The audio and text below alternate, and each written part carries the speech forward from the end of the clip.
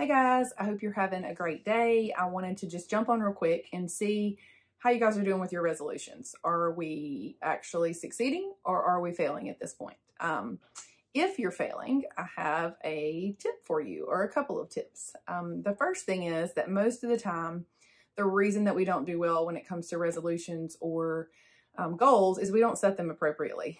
And so I wanted to just give you a couple quick tips about how to set a goal appropriately.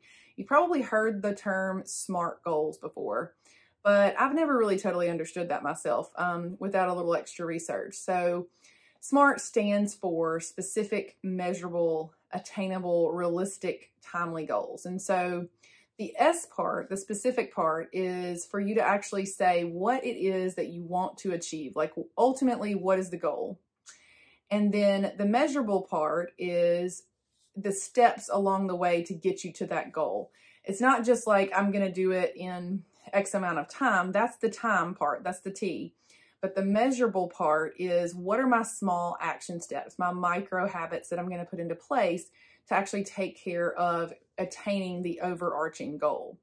And then, of course, we want it to be something that is attainable. Like, can we even do it? Is it realistic? Um, if it's not realistic, we're not going to achieve it. And so it needs to be something that is realistic. I mean, I'm not going to tell you that I'm going to make a goal that I'm going to go climb a mountain somewhere because that's not going to happen. Um, but I might make a goal that um, every day I'm going to try to spend 10 minutes doing some sort of physical activity. Um, and my ultimate goal or my the S part of that goal would be um, that I am wanting to achieve a better health overall. Um, so that's the specific part. I want to have better health. I want to be more active. But how do I do that? What are my steps to do that? That's the M part. And then the realistic part. And then the timely part's how long is it going to take me to do this? Are we talking five minutes? Are we talking about two weeks? Are we talking about a year?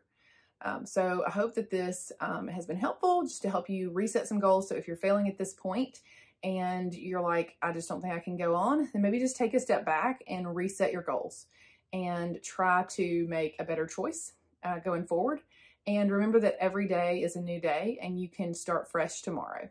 Hope you've had a great day.